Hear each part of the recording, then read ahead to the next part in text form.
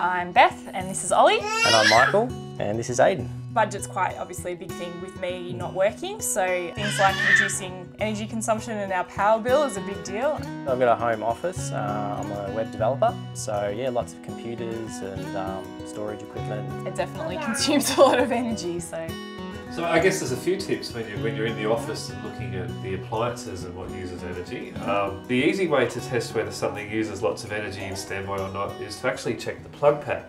If it's heavy, it probably means it uses a lot of standby power even when your computer's turned off. One of the ways we can get a lot more information is through a display. You can get in-home displays, it'll tell you how much electricity your whole house uses. Or you can buy one of these little guys, which will tell us how much electricity do the appliances plugged into it use. I reckon if we tested it, you might find this office doesn't use as much energy as, as you might be worried about. that'd be good. and there's other places in your house that you could make big savings.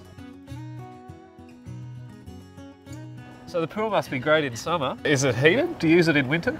Uh, not in winter, it's solar heated. This probably uses quite a lot of energy, and if without a cover, then all that warmth that you've been pumping into it will escape. Yeah. So Yeah.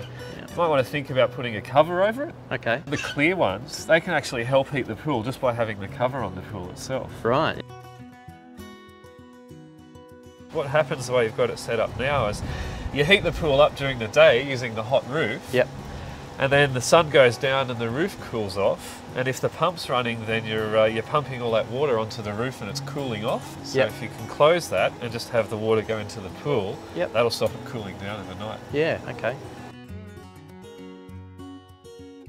So this is the twins' bedroom. Our main cooling is in the lounge, so Uh-huh. this room gets extremely hot. Do you get cool breezes around here very much?